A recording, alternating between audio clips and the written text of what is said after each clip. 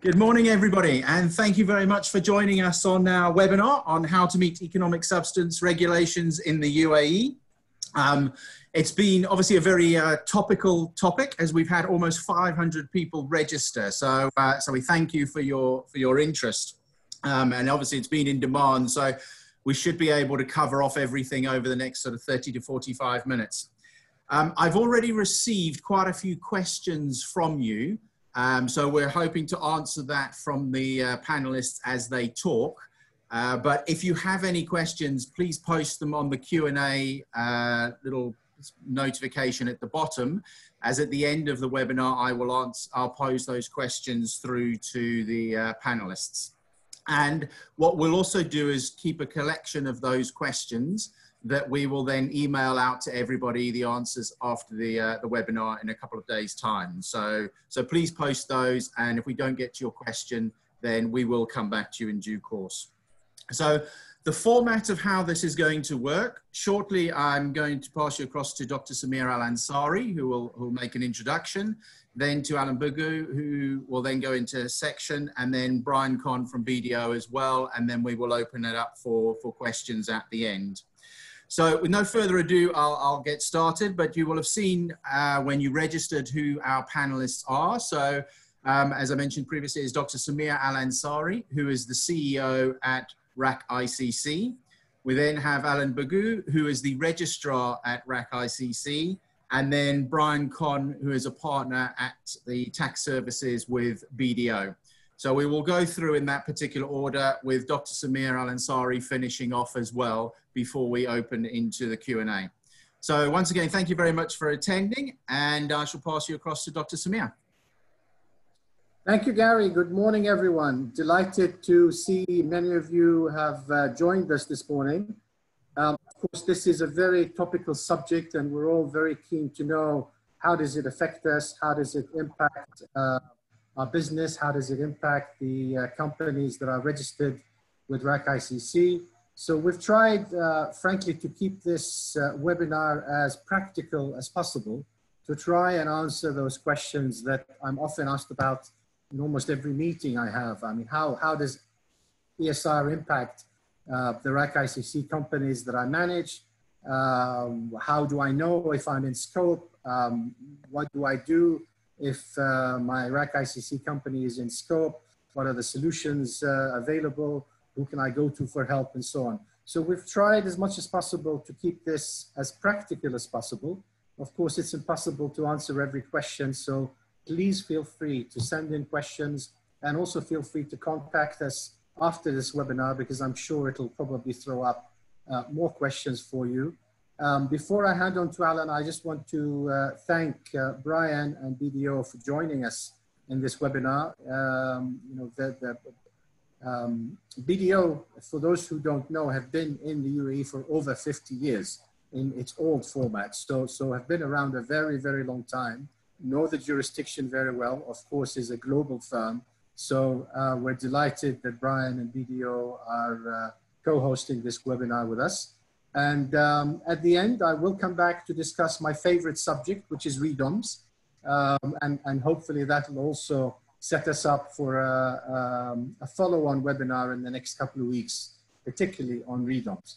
So I'm, all, I'm sure you're all excited to, to know more and hear more about the practical solutions. So I am handing over to Alan Bougourd, our registrar now. Um, thank you, Dr. Clare. Thank you, um, everybody, for joining. Really um, delighted to see so many people interested in this topic. It's something that I've been working on for a very long time now. Um, and we're making good progress in terms of being able to explain it and, importantly, explain how it impacts businesses in the UAE um, and what can be done um, in terms of solutions. Whenever we're asked a question, our first port of call for the answers is the Ministry of Finance website. Um, they've put an awful lot of effort into getting information on the site that's very clear, very concise, easy to follow, um, and I'd be very surprised if the answer to your question can't be found there. Um, we spoke with the ministry yesterday. They're working on a media campaign to raise awareness across the UAE on ESR, and they're very interested to know what sort of questions are being asked so that they can disseminate that information um, more widely. So please keep an eye on those pages. Uh, there's a link there. They're going to continually be updated with more information as it goes through. Um, but the key thing to say about ESR, obviously, I know you're all aware of this already, it does only impact on the relevant activities that are listed there. And if Gary can take us on to the next slide, we can talk about what information is actually available on the site. I mentioned there the flowchart. Very interesting, simple, straightforward flowchart to take you through whether or not a company you're looking at is in scope or not. I encourage you all to find the flowchart on the list. One of the things with the legislation is it talks about licensees. And one of the questions we're often asked about RAK ICC is we don't issue licenses. But the ministry have clarified that any company or any business structure that has a certificate of incorporation is also included in the scope of the legislation. So the first thing to say is, yes, all RAK ICC companies have to consider whether or not they have ESR. Across to the right there, you'll see that it is only for companies that earn income from relevant activities. So yes, you're in scope. Do you have any income from the relevant activities? The area that's confusing a lot of people is the reportable period.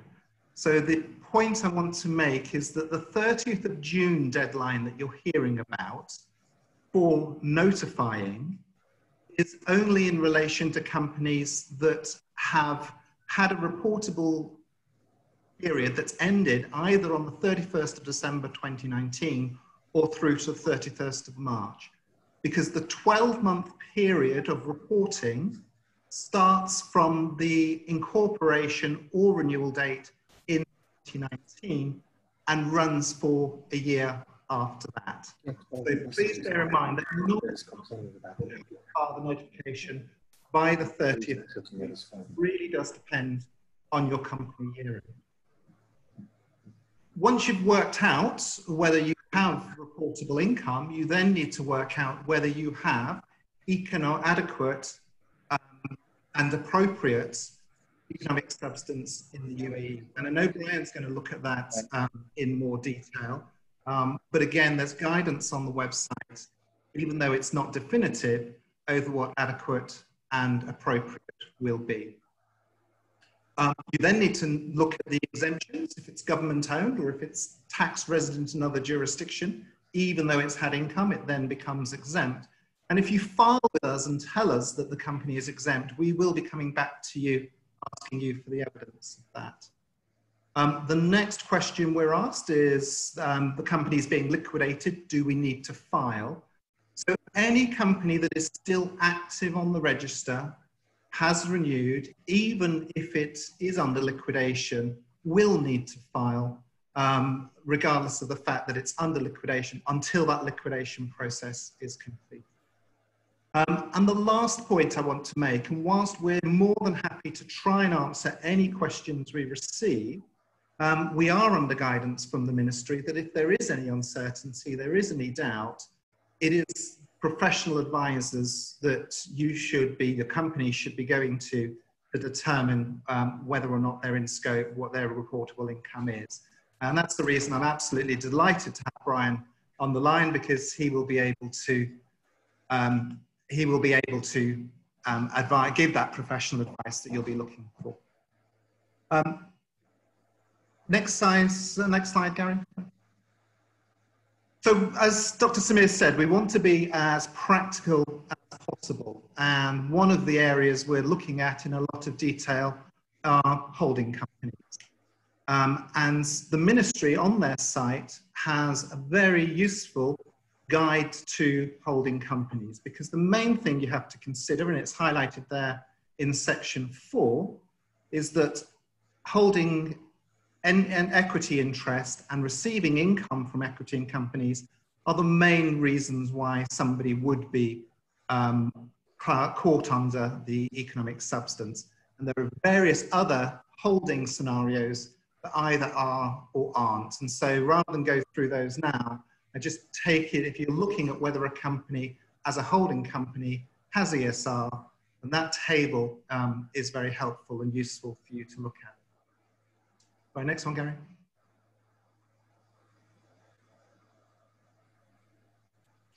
Um, I'm not going to read out this slide, but this is taken directly from the ministry site.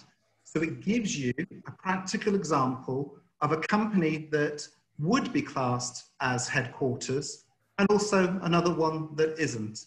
Um, and the ministry site, in all the practical examples it has, has tried to balance that out, where you see that there's a reportable uh, relevant activity um, it's looking to give examples. Of course, it can't cover every scenario, but the vast majority of scenarios are very clearly covered on that ministry site. So that is your best source of information when you're trying to find a practical answer to the question as to whether or not your company is in scope.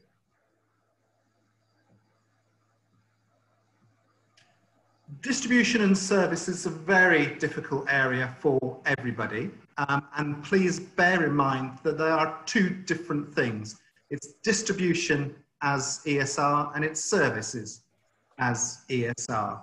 But again, the ministry have tried to give practical examples. And that top one about the furniture coming um, you know, from a group company and being distributed is a very common question that we're being asked. So you know, where the, the company is, uh, you know, handling goods from another group company elsewhere in the world, the goods might or might not come into the UAE, but they are being distributed. Is my company in scope or not? And then in relation to services, it's a very broad range of services that are included um, in it. Um, so you do have to look at whether what you're doing providing services for a related group company uh, brings you into scope or not. And again, the ministry are providing examples of that. But please do appreciate that services is separate from distribution and services are very widely drawn.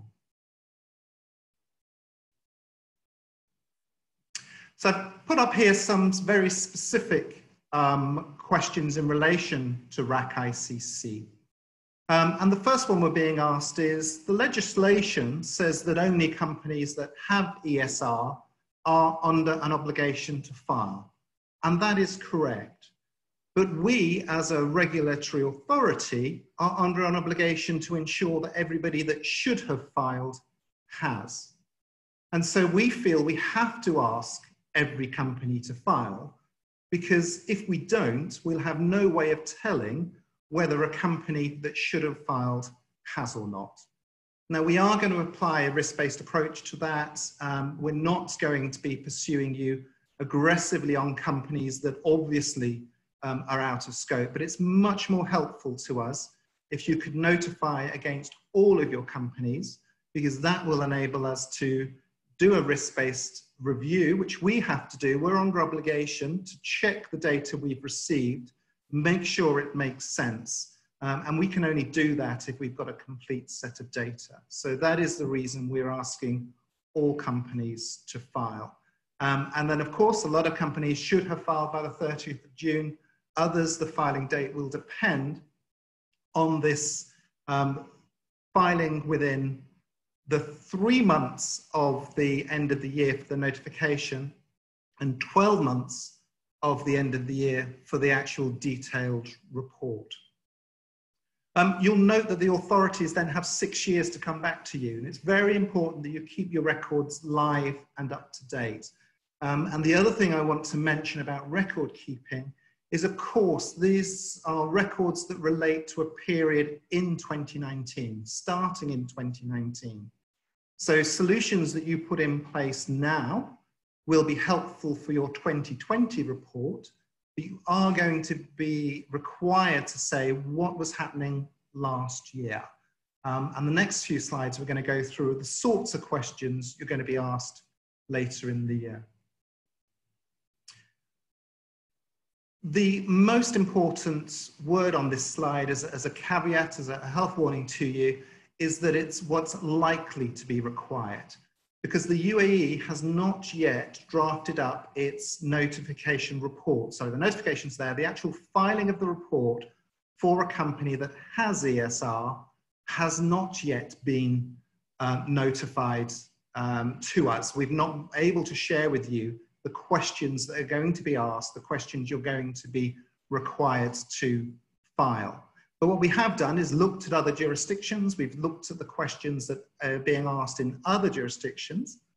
And this is another point I want to raise, is that the expectation is that there is a consistency of approach globally on this. So not only is the ministry striving to obtain a consistency of approach across the UAE, it's also striving to attain it in a way that's consistent with what's happening in other jurisdictions.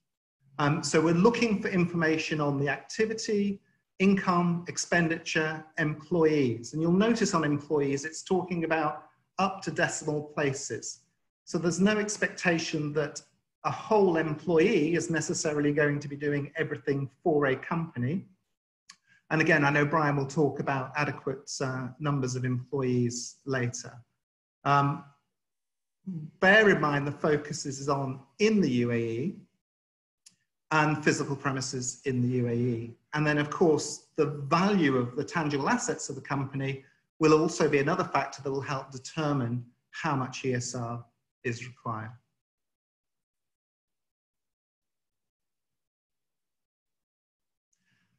Outsourcing is a key part of the solutions. We really believe that for the vast majority of companies um, in RAK ICC, the registered agent is going to be able to provide sufficient resources to enable the company um, to be um, ESR compliant in the UAE.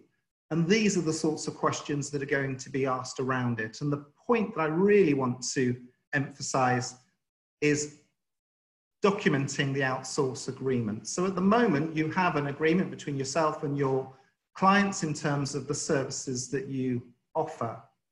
If that company is going to be relying on those services as an outsource agreement, then I would seriously suggest you review that documentation to make sure that it's clearly is documented as an outsource agreement because that will help you with the evidence that you need to provide um, and then also don't lose sight of the fact that the company doesn't relinquish its oversight or its control over those outsource arrangements because if they are to be valid, then the company needs to have control um, and not delegate the control of the outsource uh, agreement. Um, but we'll be talking more about outsourcing uh, later on. And also, uh, Brian is going to talk about directed and managed. But the questions here will help you identify the sort of things that companies are going to be looking for in terms of what is being, or the authority is going to be looking for in terms of what is being directed and managed in the UAE. Um, and very importantly, it's about the quality of the employees that are um, put into this, this, this task. Um, so the board's directors will ex be expected to have the experience to, that matches the activity of the company. Um, and the next slide I'm going to go on to talks about uh, COVID-19 and the difficulties that companies might be having with that at the moment. So the ministry has issued guidance. I appreciate there's an awful lot on the slide to take in. What I'd ask you to do is refer to the ministry website read this guidance in detail because they are aware of the fact that with travel restrictions in place at the moment, it might not be possible for people, board members, to actually fly in for meetings. Um, that said, there is still a requirement for the company to be directed and managed from the UAE. And so bear in mind that they're suggesting the appointment of locally based directors to help um, in this and not necessarily um, saying we're disregarding that requirement. Having said that, as long as you keep good records of why it wasn't possible for directors to attend the meetings, um, you know, the, that will be taken into account. The other point to mention though, sorry, just start, start on COVID, Gary, for me, because the other important point to mention is that will only affect your 2020 reporting requirement. It's not going to affect or have any impact on anything that should have happened in 2019 when these regulations came into effect. So your record keeping around directors meetings, minutes, and the direction and management of the company in 2019 having taken place in the UAE is going to be very important evidence for you to keep. Thanks, Gary. Intellectual property, as you all know, is a very complex area that needs a lot of consideration in terms of whether or not the company is compliant, not least of all because there is a presumption that high risk IP companies aren't compliant, and there's going to be a lot of information that needs to be gathered to convince the authorities otherwise. Um, but again, these are the sorts of questions that are being asked around IP. I know Brian's going to look at that um, and I just want to make the point about the developments, the exploitation, the research, um, all important that that is happening in the UAE for intellectual property.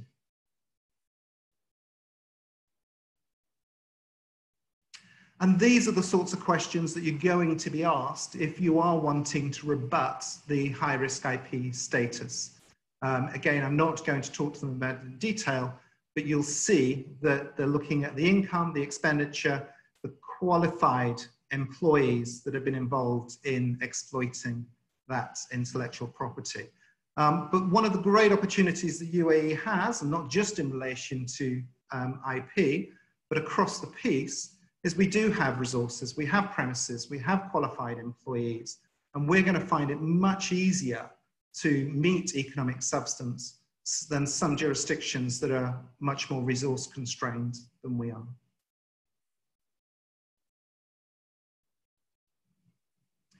This is a key slide for you. Most of the RAK ICC companies that fall under ESR are going to be falling under it because they are pure equity holding companies.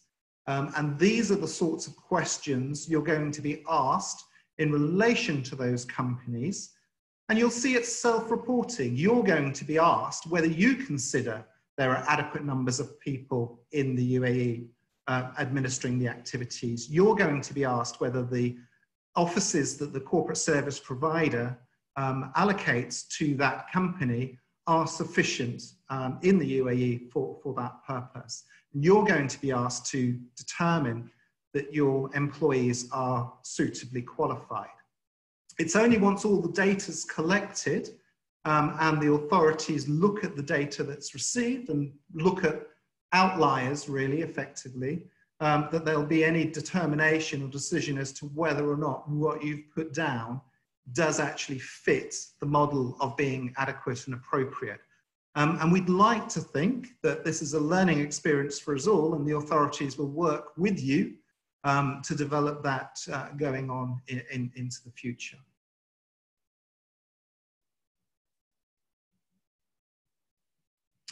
Um, we do have to talk about the downside of this, and there is going to be more information coming out about penalties for non-compliance. Whilst the penalties for non-compliance at a monetary level will be very difficult for the companies to, to suffer, the actual consequences for non-compliance for the UAE as a whole, if we're seen to be administering ESR badly or ineffectively or not taking it seriously, are going to be dire because the reputation of the UAE with international bodies is going to suffer considerably if we do not um, take this seriously. And that's why the ministry are putting so much resource and so much effort into communicating the messages out on this because we've all got to play a part in making sure, from our point of view, RAK ICC is compliant with it, but very much that the UAE as a whole um, is compliant with it. So your companies aren't suffering these penalties and the UAE isn't suffering the consequences of non-compliance. So that's it from me. Um, we will take questions. We'll also um, be rounding up at the end, but in the meantime, I'm delighted to hand over to Brian, um, who will take you through the practical challenges uh, from the BDO perspective. Thank you. Thank you, Alan, and uh, good morning, everybody. Um, I, would like just just like to say first of all, um, thank you very much um, to RAK ICC for inviting BDO to be involved with this. Um, uh, we're honoured to be asked. It's a pleasure to be asked. It's a really important subject, um, so it's nice to be able to speak to so many people um, about it today. Um, I'd like to introduce as well on the panelists, uh, I have one of my colleagues, Rona Ho, uh, who has been advising uh, a number of our clients on uh, economic substance. And what I want to talk to you about today is, is actually our, our recent experiences in, in advising. So some of the practical issues that we're seeing again and again when people are addressing the questions, firstly, around um, can I meet the, the managed and directed tests? Um, do we have um, uh, adequate resources in UAE to carry out the activity? Um, I, I, want to go back to this um, high risk intellectual property subject again. It's an important one, and I think it, it is one of those most difficult areas. And, and we'll talk about the common issues and, and some of the solutions um, that, that people can take to make sure that they, they do, as far as possible, meet the tests. Um, if we go on to the, the, the next slide, um, directed and managed. Um, all uh, businesses that are falling within the scope um, that have a um, generating activity within the scope of um, the ESR uh, are required to demonstrate that the the activity is directed and managed in the in the UAE, and and basically um, there has to be an adequate number of board meetings. There has to be a proper quorum of directors. It must be all properly um, documented and signed up, and th those documents retained in the UAE. Uh, and the directors present have to be uh, directors that are actually um, capable and qualified to, to carry out the or to make the necessary decisions. And, and what we've seen actually, looking at businesses, currently a lot of businesses are failing this test. And if we go on to the next slide, um, the, the, the things that we commonly see are that meetings are not being held in the UAE. Um, they're being held where the um, maybe ultimate holding company is in Japan or where, wherever it might be. Also, very commonly, there is a lack of documentation. And we have a, we've seen a lot of businesses where, yes, meetings are held, and actually we ought to be able to pass the test, but we don't have the documentation to, to um, deal with that. The question of um, adequate number is a, is a difficult one. An adequate number might just be one. Um, the AGM might be sufficient for some businesses that are straightforward, where um, we can set the um, strategy for the year ahead and everybody can move forward. Other businesses, you might need a board meeting every time a major um, contract is entered into, and, and, so more meetings are required. it, it is a, a, slightly subjective um, point, but this is one area where if you're not meeting it at the moment, certainly for 2020, it's necessary to review and revamp the processes that are in place make sure that there is a formal process there and that all of the documentation is prepared and kept in the right place. It, it seems to me that for many businesses, getting this one right should be relatively straightforward. And like I say, at the moment, um, quite a few businesses are, are failing on, on that test. Uh, if we moved on to the, the next slide, um, adequate and appropriate substance for each core generating, uh, core income generating activity, the company needs to prove that it's got sufficient resources, which means there's, there's an adequate number of qualified full-time employees, um, that there's appropriate operating expenditure, and we, you have all the assets and resources in the UAE. It's all about, is it in the UAE? Um, with the focus is though on the, the core income generating activity. And, and, bear in mind that there will be some overhead um, costs that um, have to be outsourced overseas. You know, the, the um, um software license for the business might be um, purchased in the USA. That's not going to cause a problem. Um, you need to take a common sense approach. And if we look at the next slide, there has been some guidance from the Ministry of Finance around uh, the interpretation. And, and, and as Alan said, there's a lot of really useful stuff in the, the Ministry of Finance website. So do look at it and see what it says. I mean, just picking out a few things though, there is no minimum standard. Uh, there's no magic number. You can't say if 90% uh, of your expenditure is in, in UAE, that's enough. It is subjective. Every business has to be taken um, on its own, on its own uh, test and level.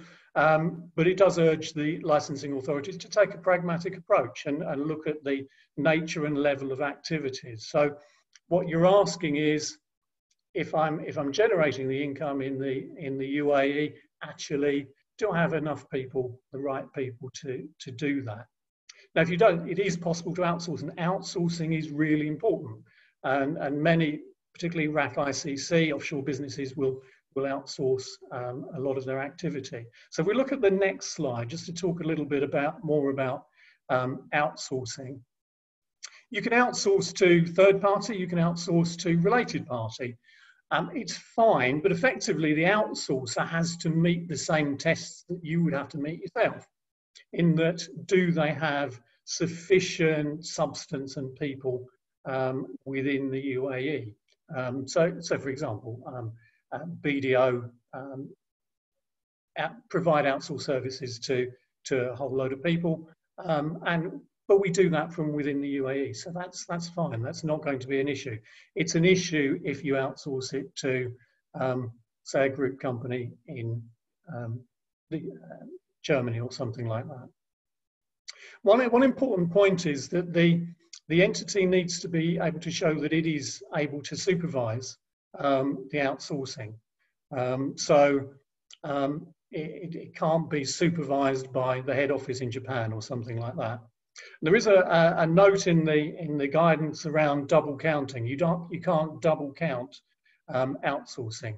Alan mentioned that it's about um, full-time um, employee equivalents, uh, and it goes down to percentages. So if you have two group companies and they share one outsourced person, then for the sake of argument, it's half a person each. Um, they both can't say they've got one full-time employee. So you, you can't double count um, the outsourcing. Uh, if we move on to the, the next slide, uh, I said I would say a bit more about the, the high risk IP businesses um, because this is this is important. IP business is any is anybody who exploits or receives income for from um, intellectual property assets, and they're a high risk business. Essentially, if they didn't create the um, IP asset themselves and it's it's been bought in from overseas and then is um, recharged out amongst the group um, which is um, a, a, mechanism that some businesses in the past have used to avoid tax in, in higher tax jurisdictions. And that's why this is an area that um, the ESR regulations focus on particularly. Um, if we look at the next slide, if we have a, a high risk IP business, I think as Alan has already mentioned, they are deemed to fail the standard tests. And the result of that is that information can be exchanged with foreign tax authorities. And this is one of the, the, the aspects of ESR. Um, um, international, uh, internationally, um, governments will share information. Um, the tax authorities will share information um, on the businesses in their jurisdiction. So um, that means uh, the idea of that is that that businesses can't hide away, um, for example, a, high risk IP business without um, tax authorities in other jurisdictions being aware of it. Now, in addition to that, um, there are additional um, tests that the IP business needs to meet. Uh, we'll look at the next slide. Alan has already touched on these. Um, but these um, tests are actually very, very difficult to, to meet um, because they do look at the uh, historical position. It says, you know, historically, did the business have control over the development, enhancement, maintenance, um, creation of that, that IP asset? You need to have a business plan to show why you've got the IP asset here, and, the, and you would have to report some very detailed information about the employees to prove that they were adequate for that IP business. I think this is this is going to create uh, a lot of issues for businesses that hold IP in the UAE. However, as Alan touched on, I think in the long run, this is this is probably a positive thing for the UAE um, because UAE is actually one place that does have the resources and the infrastructure to allow businesses to develop IP in the country. Um, so I think in, in future, you know, this um, UAE will be a good place to, to site R&D activities. So it creates a problem for, for the past. I think going forward, it, it might be actually positive for um, the UAE economy. Um, if we have a look at uh, the last slide there, um, I don't want it to be too much of a um, uh, advertisement for BDO, but just, just to talk about some of the things that we're doing for, for clients and we can help clients with. Um, we're doing high level assessments for people just to help people decide whether or not um, they are carrying on a relevant activity and at a very high level whether they're going to have any problem meeting the tests. Um, we also provide detailed advisory um, where things get more complicated um, and there are issues. And we provide a, a whole range of, of outsourcing um, and corporate advisory services. Um, so, you know, um, things like out, uh, accounting, payroll, company formation, um, all of the reporting and renewals that go around the license, uh, the company secretarial, so we can assist with making sure you get those um, board meetings and AGMs done correctly and um, correctly um, recorded, and we provide uh, registered office services and everything uh, around that. So um, I will leave it there and uh, pass over, but thank you very much.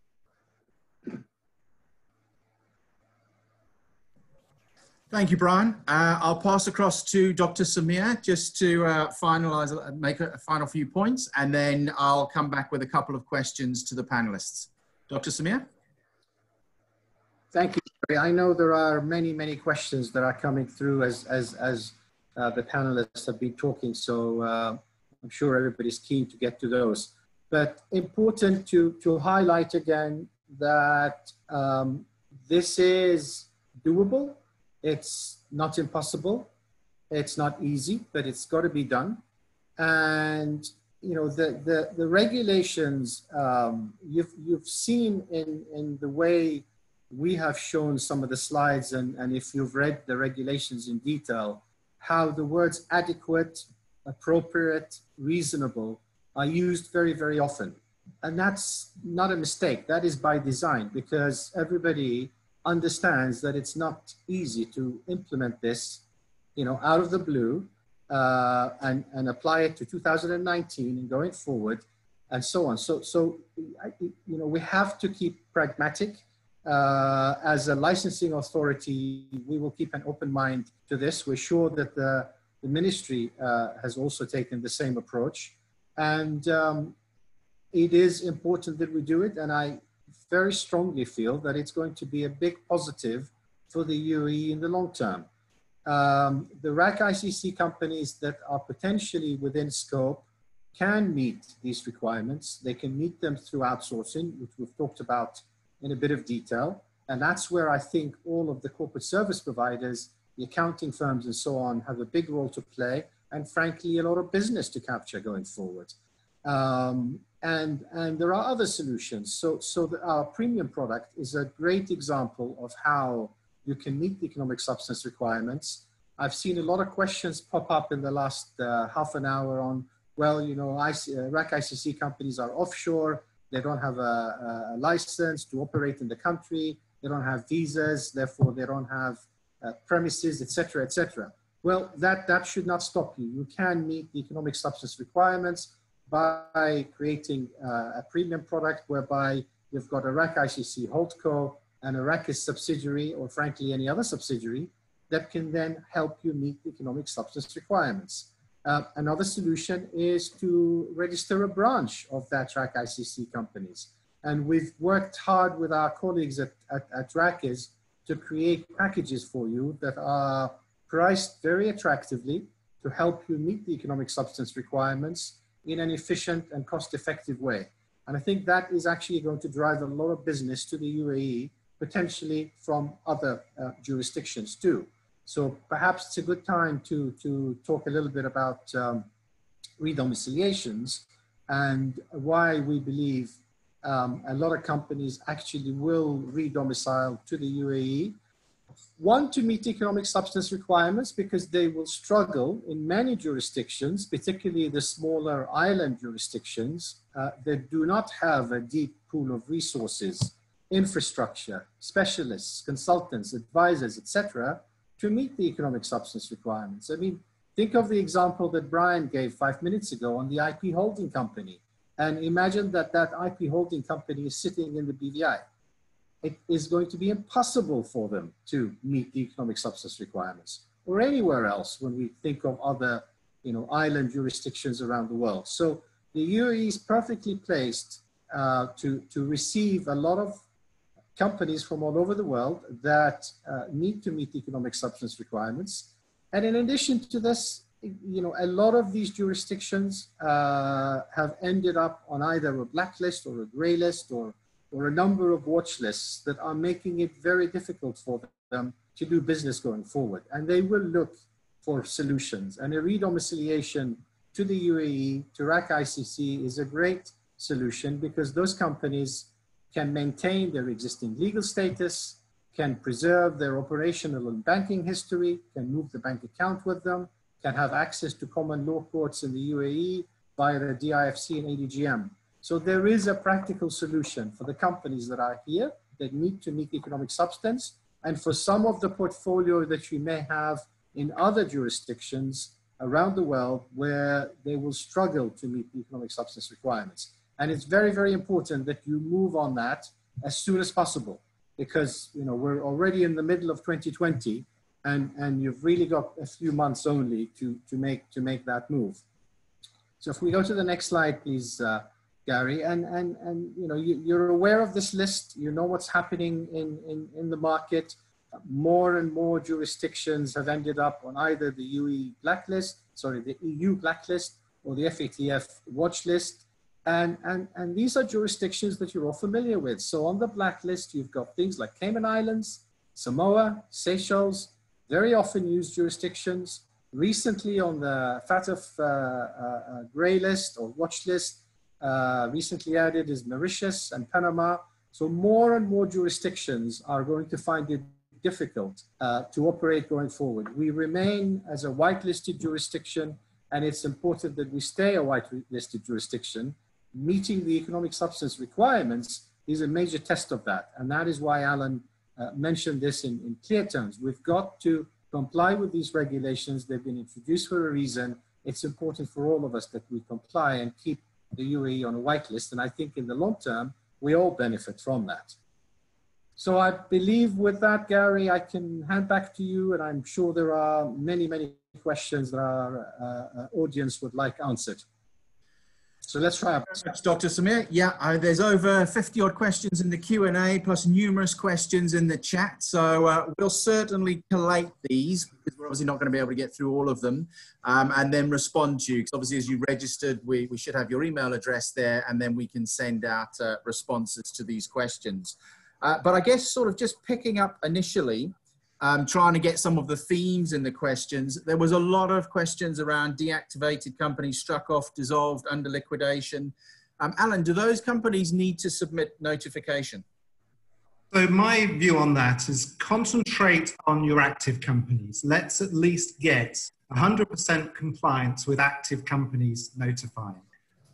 Where a company is no longer active, it doesn't mean that the authorities won't come back in the future asking for more details. And it doesn't mean that the company might not end up um, being scrutinized and, and fined and penalized. And we haven't got control over that.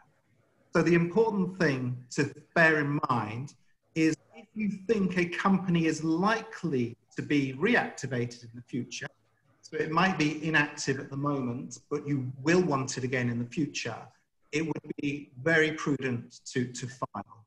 Um, a company that's been struck off and is no longer serving a purpose and you're not likely to need it again in the future, no, there's no need to. But bear in mind that if a company is restored, and we hope the company will be restored in the future, there will be a look back in terms of what it was doing during that, that period. So to be safe, notify, particularly where they fall under the relevant activities. Uh, but concentrate on your active companies and please let's get 100% compliance on those. Okay, thank you, Alan. Um, a lot of practical questions as well. So just to use these as examples, which will help people understand a little bit more. If a RAK ICC company holds real estate and receives income from rent, does that fall within scope? Uh, no, it doesn't, because it's very clear for lease finance businesses that it's only movable property. So movable assets are in scope, immovable assets aren't. Okay, thank you. And, and a, another example, um, if a RAK ICC holding company gives credit through a loan to its UAE subsidiary, does it fall under the relevant activity of lease finance business only if interest is earned through the loan? So bear in mind the income. The income is the important thing there. Um, similarly, I don't want to answer off the cuff. I think it's more important that you go to the relevant guidance. The answer is in the guidance follow the lines of the relevant activity guidance that's on the site and you will find the answer. Uh, but no income, then it's out of scope. Uh, thank you. And there's quite a lot of questions again to clarify around reportable periods, etc. Um, so people are wanting a little bit more clarification around that. And one of the questions is, if a licensee does not conduct relevant activity during a financial period, will that licensee be required to submit a notification? We're asking them to notify because we need to know that everybody has considered it. Would you be penalized for not notifying? The answer is no. But the problem you're going to have is we're going to be coming back to you saying, should that company have notified or not? Please notify on everything. Otherwise, we're going to have to come back to check because we can't risk the companies that should have notified haven't because companies that should have notified and haven't will be getting penalties. And there's no might be getting penalties. Authorities are very clear. You will be getting a penalty and it will be severe. So please, let's everybody play their part in, in getting these notifications through. Okay, thanks, Alan. Uh, uh, one for you, Brian, around IP activity. Is the activity of software development always considered as relevant IP activity? Well, I think um, the answer is, to that is that software development will almost certainly result in the creation of an IP asset. The, the development itself isn't um, uh, an IP business, but the, the resulting um, IP um, will be, um, or, the, uh, the exploitation of the resulting IP um, will, be, will be an IP business. Uh, which means that if you develop the software here in the UAE and you hold the IP here, that's great um, because that, that doesn't fall into the high risk category. Um, so, so software development itself, that's not an IP um, business, but it will lead to the creation of an asset which is um, going to be used for um, an IP business. Thanks, Brian. Another question around concerning distribution and service centres. The ministry's guide specifies that a licensee is considered engaged in a service centre business if it provides consulting to a foreign related party. And two questions. What if the service is provided to a UAE related party? And what if the service is provided to a third party in the UAE or abroad? Um, I'll, I'll, take that one briefly, but again, check the detail. Um, but UAE, if it's within the UAE, then it's not a core income generating activity that's outside of the UAE. So it should be easy to meet the ESR on that basis. Uh, non-related third parties outside of the UAE also uh, not in, in scope. So it's a related party outside of the um, UAE that would be the trigger, but please check the detail of the, uh, of the advice of, of the guidance. Yeah, I'd go along with what Alan says there. I think that's that's absolutely right. Um, but again, going back to practical difficulties, this is really one of those areas that, that people are having a lot of problem with. Um, but it is about, um, as Alan says, uh, foreign connected parties um, centrally. But do check the, the uh, guidance from the MIF. Okay, thanks. Um, and, and, Dr. Sameer mentioned earlier within the, the guidance, there's lots of words around, uh, uh, you know, adequate, etc. So we're getting lots of questions around definition and, um, you know, what is the guidance on determining adequacy of employees and manpower to meet economic sub substance?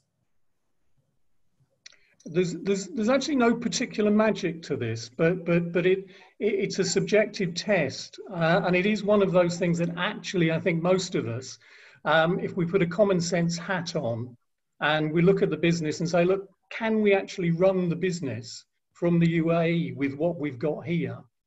Um, then you, you, can generally say yes or no to that, that question. I, I think in, in 90% of cases, um, most businesses are able to, to make that um, judgment.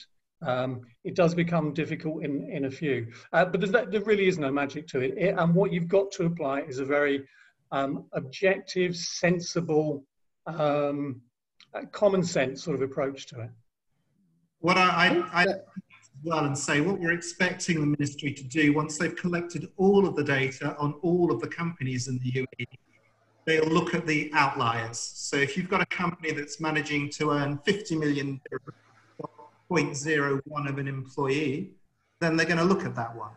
Um, and so it's going to be a case of what, what happens to be normal once all the data is collected and I think it's only at that stage you're going to get more detailed guidance. At the moment, Brian's absolutely right. Common sense. It's almost, you know, yourself, just does that look reasonable? Am I going to be able to justify that to the authorities? If they come asking questions, does it sound reasonable? If it doesn't sound reasonable to you, then you're unlikely to be able to convince the authorities. Yeah. I mean, let's not forget this, this legislation is all about um, minimizing or eliminating tax avoidance. This is an EU legislation to ensure that, that, that tax is paid where it should be paid. You can't have a French company book a billion euros of income in the UAE and have no employees or a couple of employees. That does not look reasonable or adequate. It's as simple as that. So we've, we've got to, as, as Brian said, put a common sense hat on and, and apply accordingly. Thank you, Sameer. Um, quite a few questions around um, reporting periods and penalisation, etc. So sort of a, a combined question here. If a company didn't meet some of the tests in the first reportable period, as in 2019, but has done everything to correct the position in 2020, will they be penalised? And following on from that, is there a process or mechanism to rectify notification at a later stage due to any oversight or misinterpretation, wrong reporting, etc.? Yes, I'll answer that in, in as much as um, we don't know because we're not in control of that. There will be a white paper that comes out on the enforcement regime. So more information will, will come through.